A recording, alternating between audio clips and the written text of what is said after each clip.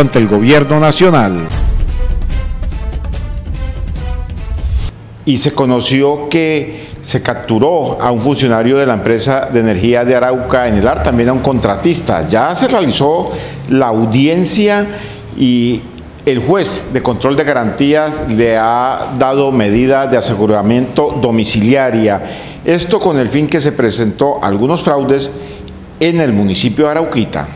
El juez del juzgado segundo promisco municipal de Arauca con funciones de control de garantías impuso medida de aseguramiento contra un funcionario de la empresa Energía de Arauca en el AR y un empleado de una firma contratista de esta empresa de energía en Arauquita. El funcionario de la empresa de energía de Arauca en el AR fue identificado como Harold Roselberg Camejo, que a la vez se desempeña también como miembro de la junta directiva del sindicato en el y Windy Joel Lozada Rincón, quien es trabajador de una firma contratista de la empresa de energía de Enelar en el municipio de Arauquita. El proceso que adelanta el juzgado segundo promisco municipal de Arauca es por el presunto robo de facturas de la empresa de energía eléctrica de Arauca en el AR y los delitos son concierto para delinquir, concusión y acceso abusivo a un sistema informático. Los dos sujetos fueron capturados el 16 y el 17 de diciembre del año anterior, respectivamente. Harold Rosenberg Camejo se presentó voluntariamente ante la Fiscalía General de la Nación en Arauca, mientras que Windy Joel Lozada Rincón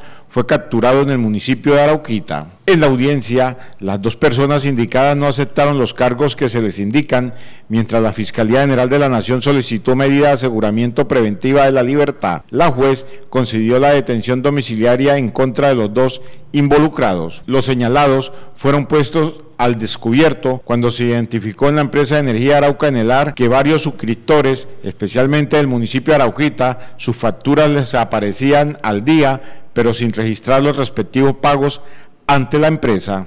Al realizar las investigaciones internas en el AR, se logró determinar que alguien ingresaba al sistema y alteraba las facturas, mientras que en el terreno podría tener complicidad con al menos un facturador y posiblemente hasta los propios usuarios. La denuncia la interpuso la empresa de energía Arauca en el AR ante la Fiscalía General de la Nación, quienes realizaron el cotejo de todas las pruebas técnicas y testimoniales, a tal punto que se le llevó a pedir la medida acogida por un juez de la República. Causa curiosidad por qué dar conociendo el proceso y que ya un funcionario y un empleado de una firma contratista fueron capturados, no se ha pronunciado hasta el momento, muchos menos ha notificado al sindicato de esta empresa para que tomen medidas contra un integrante de la junta directiva del mismo sindicato.